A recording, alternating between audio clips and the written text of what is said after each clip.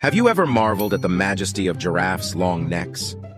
For years, scientists have pondered this fascinating question. They are not just for reaching tall trees, as giraffes also graze at ground level. If it were just for food access, they should thrive during droughts, but that's not the case. Giraffes' long necks evolved from their instinct to compete for mates. Chinese researchers from IVPP uncovered this discovery in Discokeryx xiezhi fossils.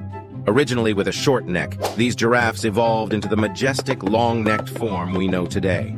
Their extended necks, supported by a strong vertebral structure, gave them an edge in male-to-male -male combat for mating rights. With longer necks, giraffes can deliver stronger blows to rivals during combat, increasing their likelihood of winning.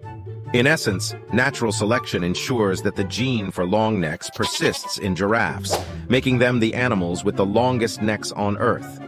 Subscribe to the channel for more interesting information.